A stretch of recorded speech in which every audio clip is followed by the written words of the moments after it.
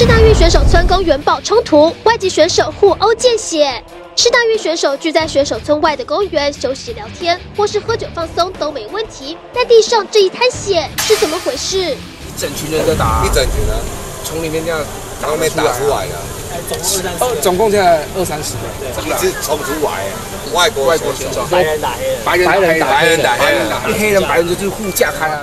今天凌晨三点多，外籍选手在选手村附近公园打架。他被植物打到，是植物，不是牵动的，挂植物打，猫下去整个，哇，对啊，整个脸都血啊，都是伤口都裂开来了，太夸张了，打的那样。